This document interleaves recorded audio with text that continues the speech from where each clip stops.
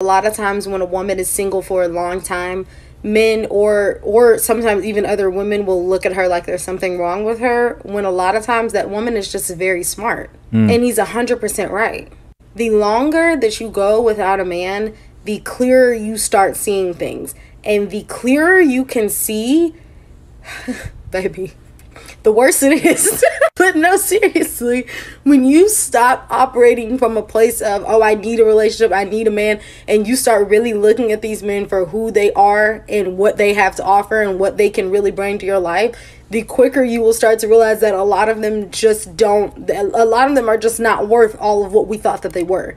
This is not me hating on men. This is not, this is not that. This is me defending single women. That's it the longer that you go without a man, the less stuff that you start to tolerate, and the better you are at detecting when a man is really not worth your time. When your desire for partnership stops overriding your desire for genuine respect and genuine love, then you will start to see things so differently and it is going to change you. You're going to make decisions that you probably would not have made before and you're going to be a lot less willing to accept and settle for just anything. And the longer that you go being alone, at least in my experience, the mm. more you enjoy being alone. And then that means when a man does come along, he's going to have to actually do something. You're going to have to make a real difference in my life, and you're going to have to make it very clear because I am no longer just looking to be booed up just for the sake of being booed up. No, sir, you're going to have to come over here with something tangible, something real, and something genuine. Otherwise, I can stay by myself. I'm just getting on here for all the girlies who are in their 30s. I'm 33, turning 34 next month. And I'm just done dating. Like, excuse my language, but I'm done. Like, for a while there, I was on a kick for the younger guys because that was all that was hollering at me. Because I must say, I think I look pretty good for being 33. So I was like, okay, I'm done with the young ones. Like, they're too immature. Like, I'm looking for something more serious in life. They, they're not doing it for me. Cool, whatever. I reunite with an ex that I was with when I was 22, and this was like always the one who got away from me. Mind you, he is three years older than me, gonna be 37 in January. This man is emotionally unavailable. So they're too immature in their 20s, and then they're possibly still emotionally unavailable in their 30s.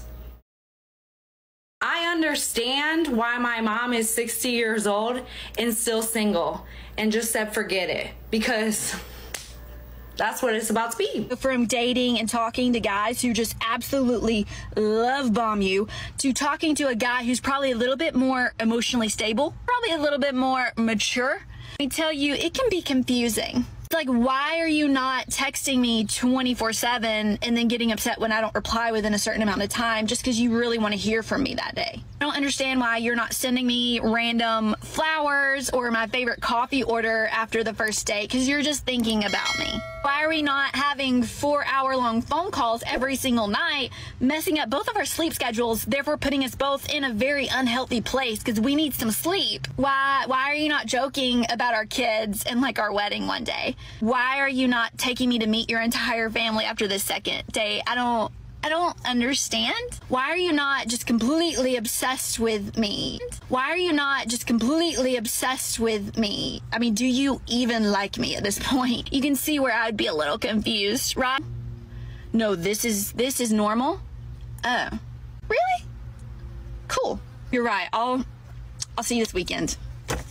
Alright YouTube, once again I am back with another video. So um today's video is just a simple one, but I want to tell you all this. Please and please don't listen to this woman. Never ever ever get obsessed with anybody in today's world because you're gonna get your heart broken. Don't be obsessed with any man don't be obsessed with any woman because in today's world people just walk out of your life like like they just don't care. Never get obsessed with any woman never get obsessed with any man. This is just a friendly advice that i'm giving.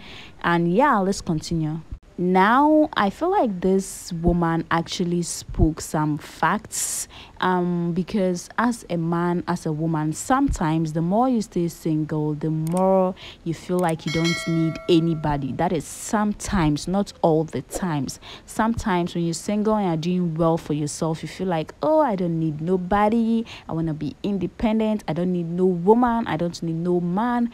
Guys let me know in the comment section do you think this is true or does it only apply to women? Do men feel the same? Do men feel like they don't need women when they stay single for a longer period of time do they feel like they don't need women? Let me know in the comment section. Now concerning this video i have a lot of comments that came in. Let me read it for you guys. Happily single for seven years. Men give me the ick these days. Oh okay. A close friend was single and not married until about 38 years. She would put on the strong woman facade for the world. I don't need or want a man. I am happier alone. But then break down crying in private about how devastatingly lonely it was at the end of each day. These were very real, very deep, and very painful tears she cried. I don't believe any woman 35 plus actually enjoys being alone. Wow, so this is what Angela thinks. Let me know what you think.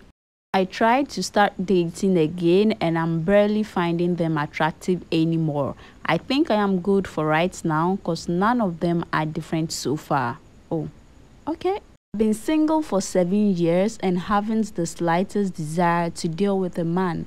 We don't need. The gig is up. She didn't say she wasn't having sex. She said she was single. I hope she feels the same about being single in her 50s. She is happily single, not celibate. Fellas, remember that. Gentlemen, never pursue a woman. It is a waste of time. Focus on being the best man you can be.